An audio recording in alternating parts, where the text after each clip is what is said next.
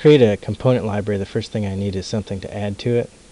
I'm going to go into the file that Gary has on his website. It's a collection of WindsorONE molding profiles.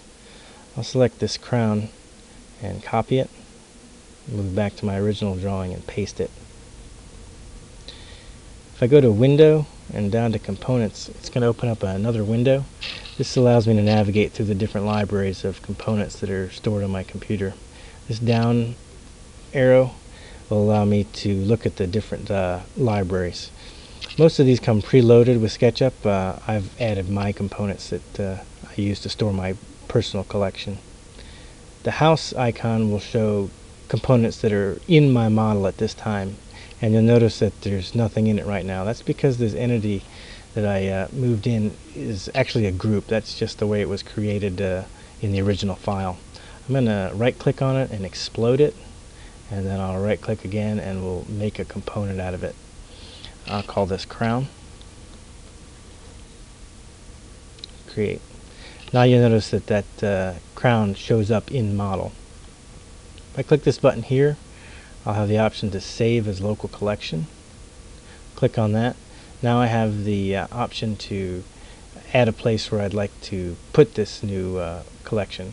I'm just going to put in the desktop uh, for this example. I'll say make a new folder and we'll call it uh, moldings.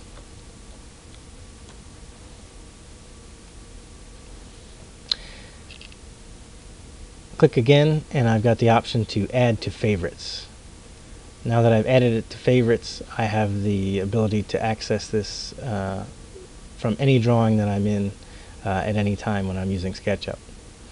This uh, button here will open up the uh, secondary selection pane. If I uh, look at it, it's pretty much identical to the first one. I can navigate through all the different uh, libraries that are stored on my computer.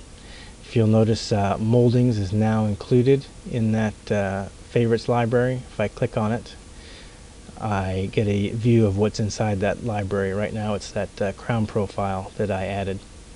If I go back to the collection and maybe grab a stool, profile. I'll copy that and we'll uh, paste it. Uh, again, go through the same process. You'll see it's not included in my model right now because it's not a component. I'll explode it, right click again and make a component. We'll call it stool and create. Now it's showing up inside my model. If I want to add it to this collection, I can just drag it down.